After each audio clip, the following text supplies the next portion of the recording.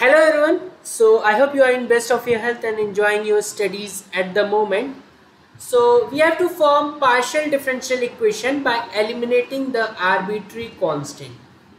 So let's uh, assume this as our equation number 1.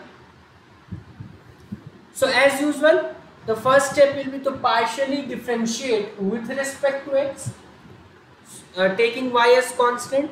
So partially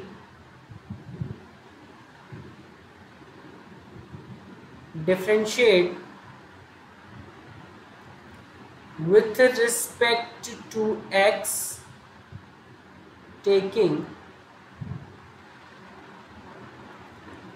y as constant.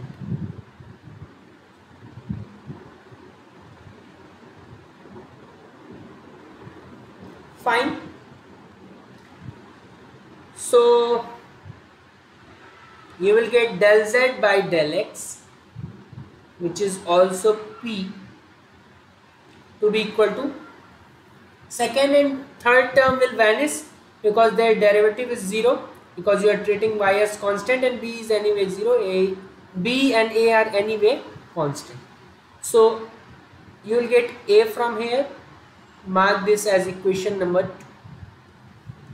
again partially uh, here you need to write equation number 1 so partially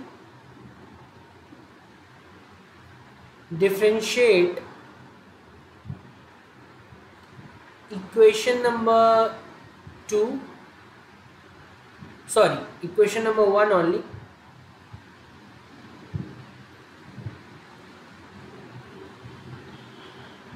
with respect to y this time taking x as constant.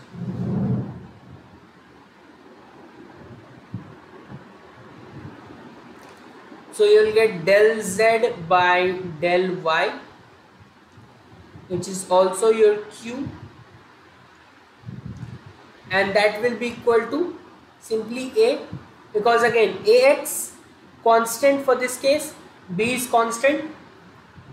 So their derivative will be 0 coming to the middle term derivative of ay with respect to y that is going to give you. So this becomes your equation number 3 now putting uh, the you have uh, got uh, everything in terms of a okay? So how will we eliminate the value of their uh, b?